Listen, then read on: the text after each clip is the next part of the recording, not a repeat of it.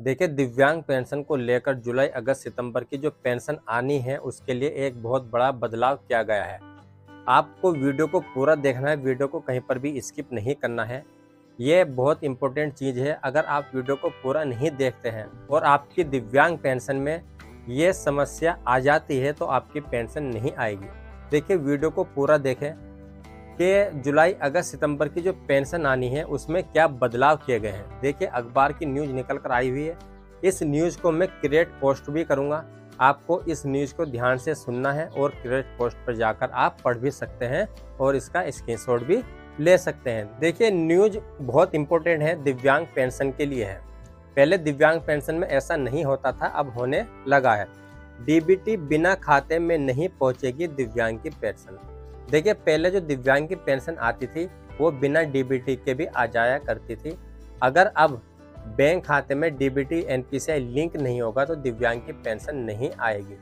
इस तरह से वृद्धावस्था पेंशन और विधवा पेंशन आती थी, पर दिव्यांग की बिना डीबीटी के ही पेंशन आ जाया करती थी। तो यहाँ पे देखिए, जागरण संवाददाता, दिव्यांग लोगों को सरकार पेंशन देती है, इसके लिए उनका बैंक खाता भी दर्ज किया जाता है।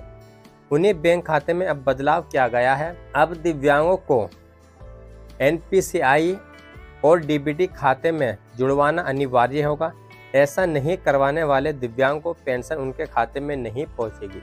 देखिए, जिन पेंशन लाभार्थियों का डीबीटी और एनपीसीआई लिंक नहीं होगा तो उनकी पेंशन उनके खाते में नहीं पहुँच पाएगी। इस चीज़ का हमेशा ध्यान रखें। इस तरह की जानकारी विभाग की तरफ़ से दिव्यांगों को दी जा रही है।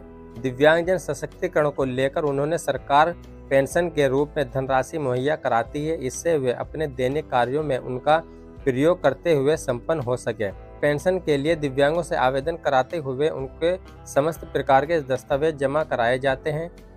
इसमें उनका बैंक खाता नंबर भी दर्ज होता है, जिससे सरकार से मिलने वाली धनराशि लाभार्थियों को सीधा बैंक खाते में प्राप्त होती है।